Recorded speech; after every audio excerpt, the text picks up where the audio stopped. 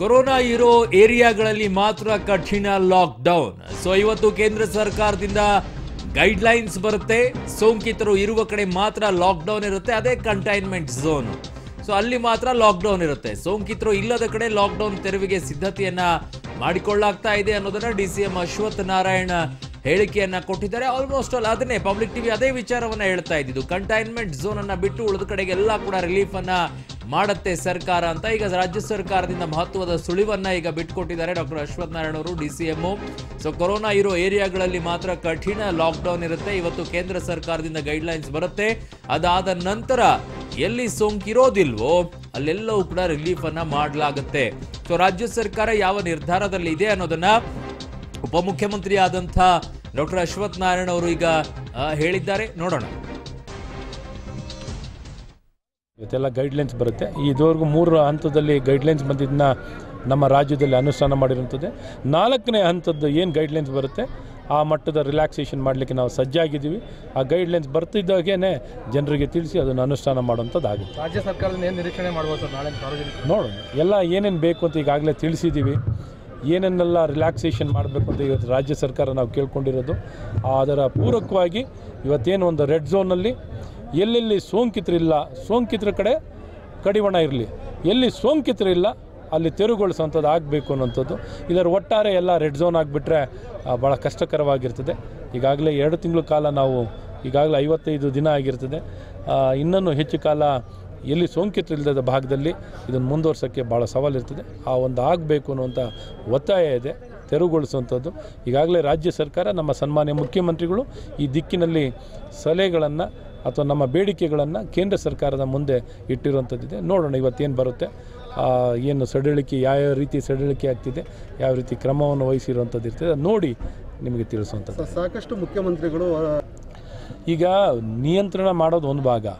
ಜೀವನ ಕಟ್ಟೋದು ಜೀವನನೂ ಸಡಿಲಗೊಳಿಸೋದು ಬದುಕನ್ನು ಕಟ್ಕೊಳ್ಳಿಕ್ಕೆ ಉದ್ಯೋಗವನ್ನು ಪಡೀಲಿಕ್ಕೆ ಹಂತ ಹಂತವಾಗಿ ಸಡಿಲಗೊಳಿಸುವಂಥದ್ದಿದೆ. ಅದನ್ನು ಮಾಡ್ತಾ ಇದೀವಿ. ಅದಕ್ಕಲ್ಲಿ ದಿಕ್ಕಲ್ಲಿ ನಮ್ಮ ಸನ್ಮಾನ್ಯ ಪ್ರಧಾನಮಂತ್ರಿಗಳು ಭಾಳ ಸ್ಪಷ್ಟವಾಗಿ ತಿಳಿಸಿದ್ದಾರೆ.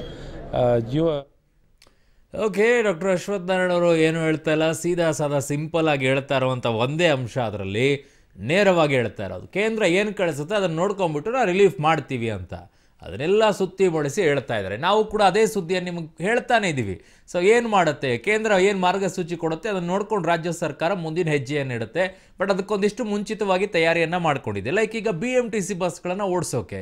ಸೊ ಎಲ್ಲ ತಯಾರಿಯನ್ನು ಮಾಡಿಕೊಂಡಿದೆ. ಕೇಂದ್ರ ಎಸ್ ಅಂತಂದರೆ ಇಲ್ಲಿ B M T C bus ಓಡಿಸೋದೆ.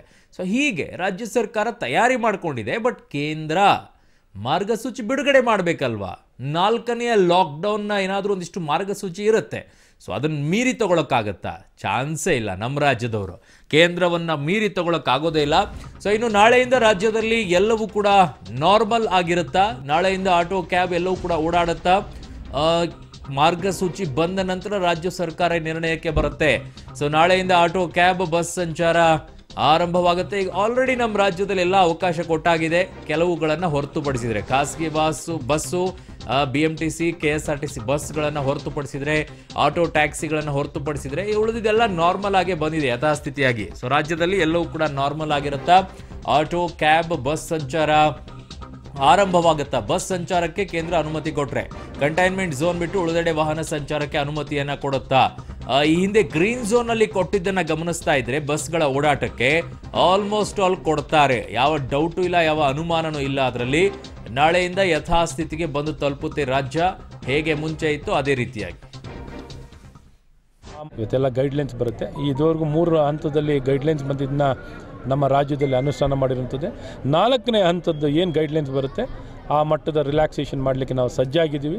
ಆ ಗೈಡ್ಲೈನ್ಸ್ ಬರ್ತಿದ್ದಾಗೇ ಜನರಿಗೆ ತಿಳಿಸಿ ಅದನ್ನು ಅನುಷ್ಠಾನ ಮಾಡುವಂಥದ್ದು ಆಗುತ್ತೆ ರಾಜ್ಯ ಸರ್ಕಾರದಿಂದ ಏನು ನಿರೀಕ್ಷಣೆ ಮಾಡ್ಬೋದು ಸರ್ ನಾಳೆ ಸಾರ್ವಜನಿಕ ನೋಡೋಣ.